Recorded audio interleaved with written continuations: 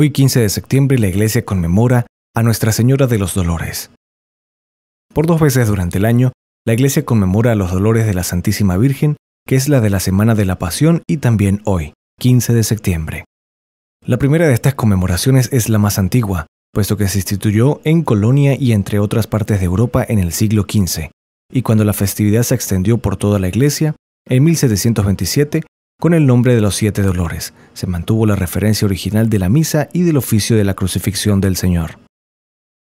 En la Edad Media había una devoción popular por los cinco gozos de la Virgen Madre, y por la misma época se complementó esa devoción con otras fiestas en honor a sus cinco dolores durante la Pasión. Más adelante, las penas de la Virgen María aumentaron a siete, y no solo comprendieron su marcha hacia el Calvario, sino su vida entera. A los frailes servitas, que desde su fundación tuvieron particular devoción por los sufrimientos de María, se les autorizó para que celebraran una festividad en memoria de los siete dolores, el tercer domingo de septiembre de todos los años.